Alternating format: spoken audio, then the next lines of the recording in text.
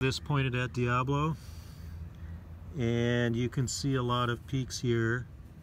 2375 2400 2425 and now I'll turn it 20 there's a little more directly at it.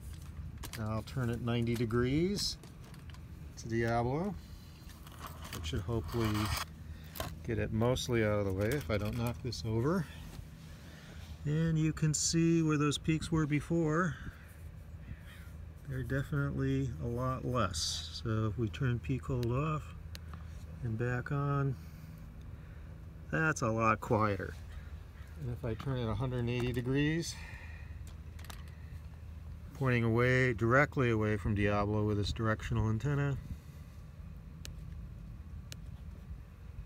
clear that out. You can see the 2350 spike is still there, it's probably local. 2375 and that it's a lot quieter.